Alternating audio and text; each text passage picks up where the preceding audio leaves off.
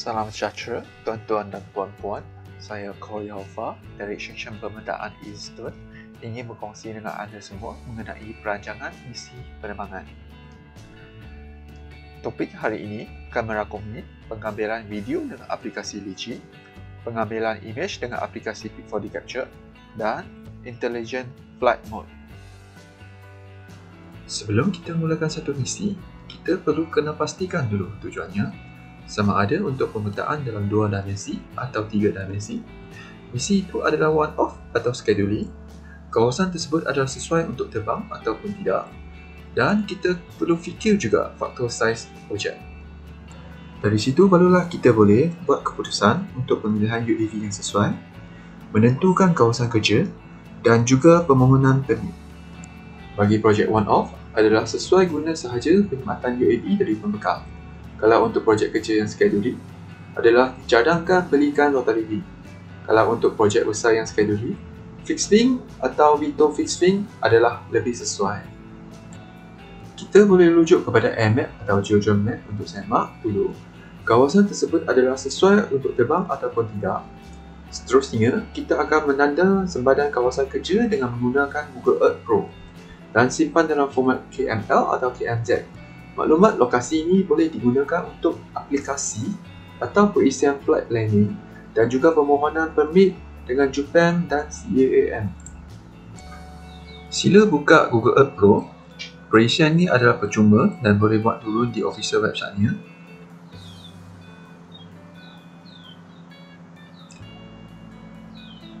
Seterusnya, masukkan nama tempat pada dukun unit kawasan kerja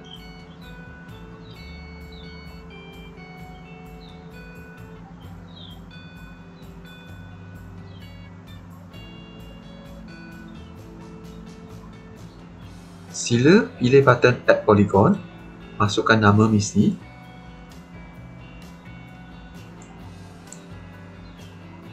Tandakan sepadan. Di tab Style dan Color, pilihkan Outline dan savekan dia sebagai KML atau KMZ.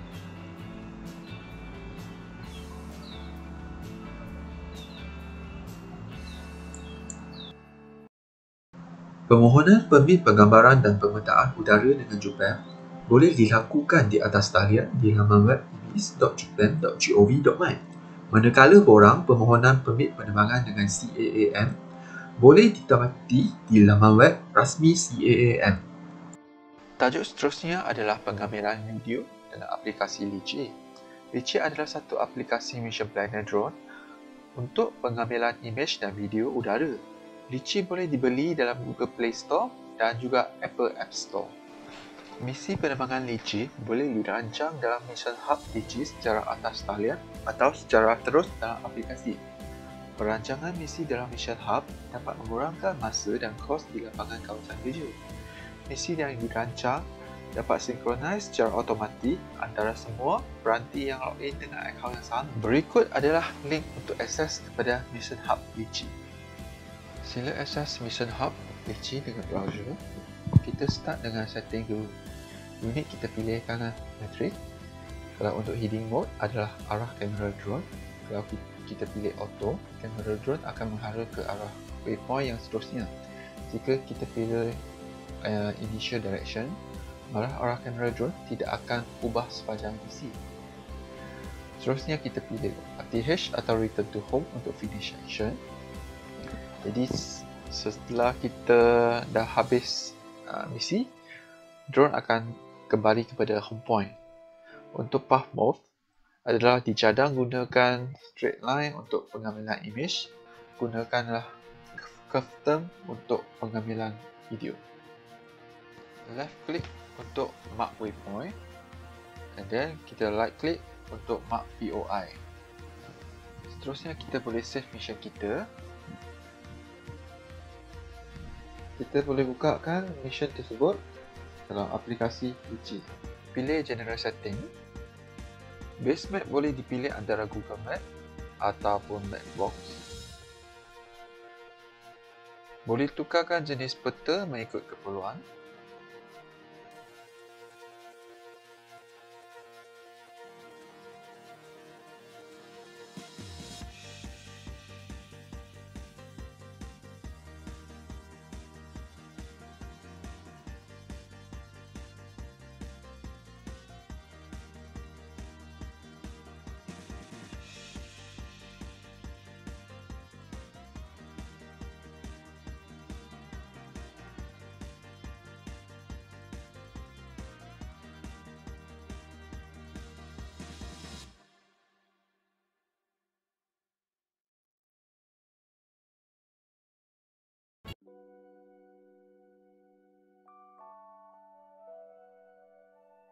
Tekan FPV, seterusnya pilih waypoint.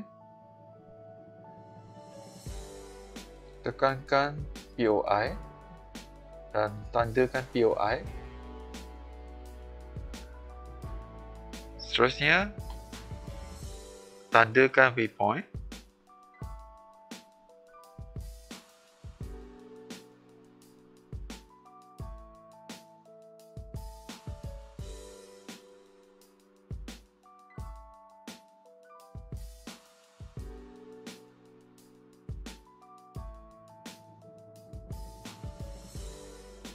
Pilih waypoint pertama. Tarik ke bawah.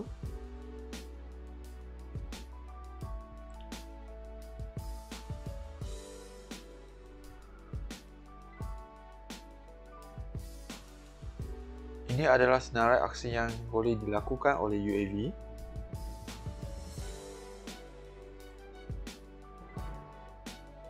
Seterusnya ke waypoint yang kedua.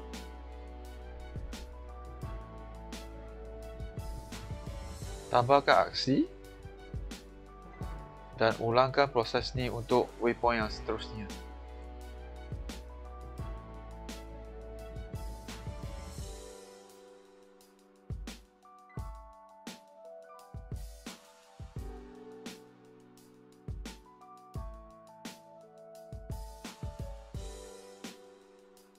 Seterusnya, savekan misi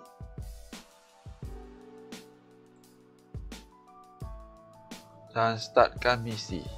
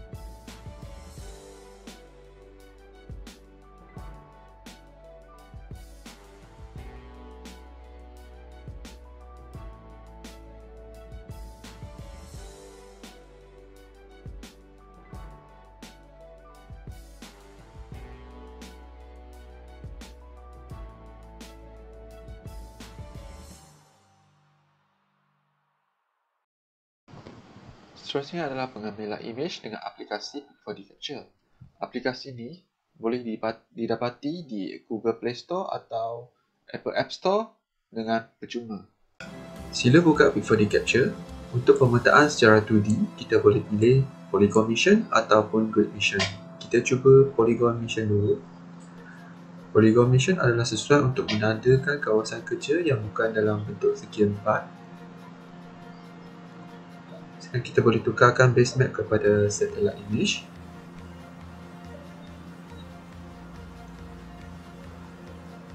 Kita boleh zoom in dan zoom out. Tukarkan size dan bentuk polygon.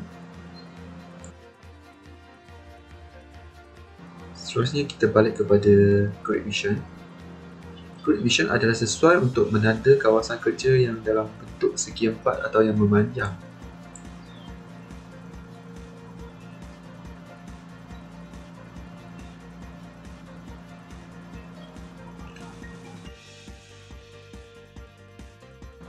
kita boleh ubahkan size pusing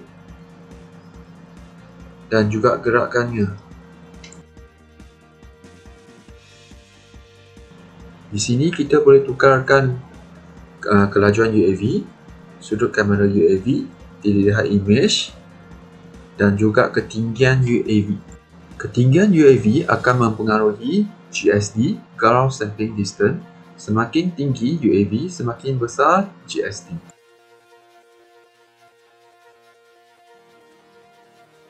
Seterusnya kita tekan next. Then tekan long press selama 3 saat untuk naikkan UAV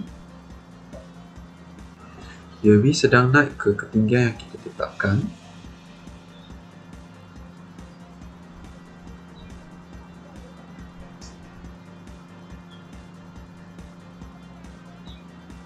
UAV akan terbang kepada first line dan akan start ambil gambar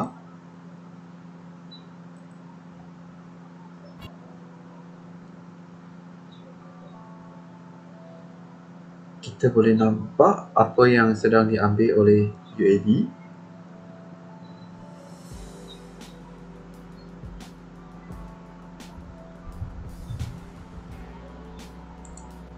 Di samping tu, kita perlu memerhatikan status UAV agar kita dapat mengarahkan UAV balik kepada kita sekiranya berlakunya ada error.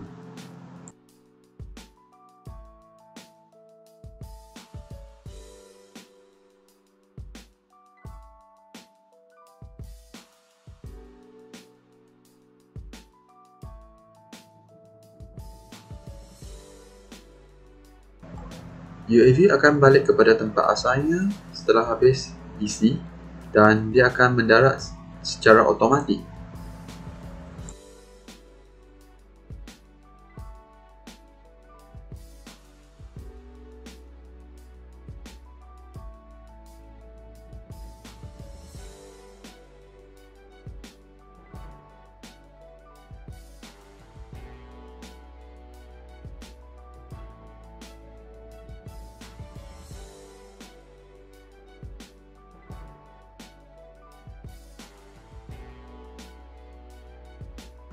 Untuk meningkatkan ketepatan, kita perlu set up Ground Control Point GCP sebelum kita terbang.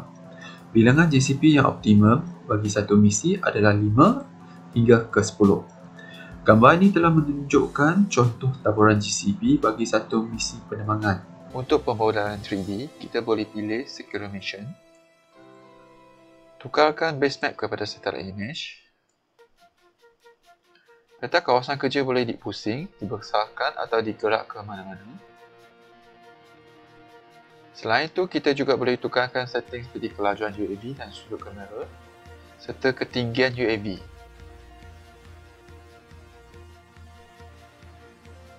Seterusnya, kita tekan next.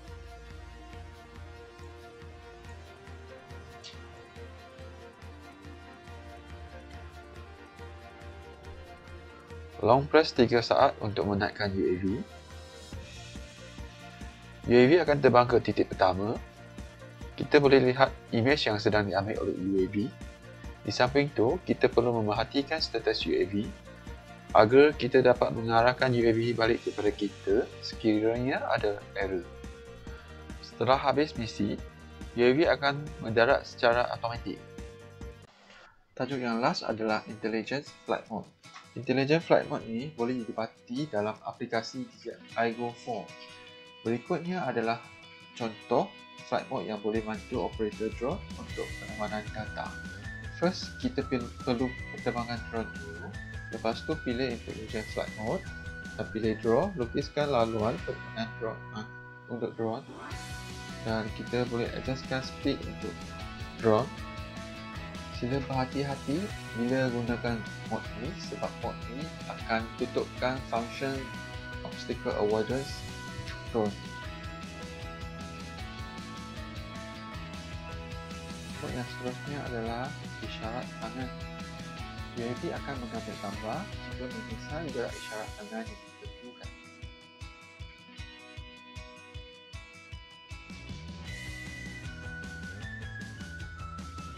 tap fly mode dengan draw mode adalah lebih kurang sama hmm.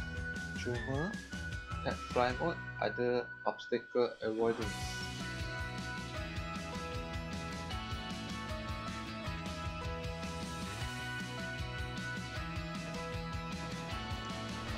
Ini adalah mode point of interest.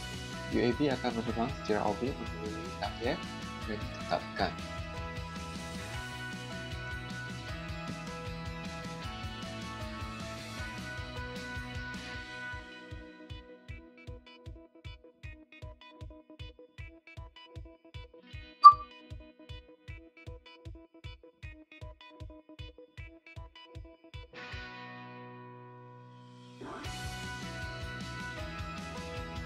Terima kasih kerana telah habis menyaksikan video ini.